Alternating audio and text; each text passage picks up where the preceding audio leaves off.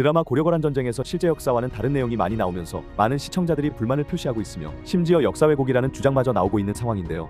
드라마의 내용을 간단하게 요약해보자면 25화에서는 고려 조정에 불만을 갖고 있던 김은과 최질이 난을 일으킬 준비를 하면서 명분이 생기기만을 기다리고 있었죠. 그러던 중에 장현우와 황보유이의 주도로 문신들이 무신들의 영업전을 회수해서 자신들의 녹봉으로 돌리려 한다는 소식을 듣고는 김은과 최질이 다른 무신들을 설득해 군사들을 이끌고 가서 현종을 압박하며 이 사태를 만든 장현우와 황보유이를 귀양 보낼 것을 요청합니다. 그리고 26화에서는 마침내 현종을 손에 넣는데 성공한 무신들이 정권을 잡게 되죠. 김은과 최질이 난을 일으켰을 때 고려의 신하들은 동북면과 서북면에 있는 군사들에게 도움을 요청하며 난을 진압하려 하지만 원정왕후가 서북면과 동북면의 군사들에게 개경해서 일어난 소란이 모두 평정되었으니 함부로 군사를 움직이는 자가 있다면 반역죄로 엄벌에 처할 것이라는 교서를 보내면서 결과적으로 원정왕후가 김은과 최질의 난을 도와준 셈이 되어버렸습니다.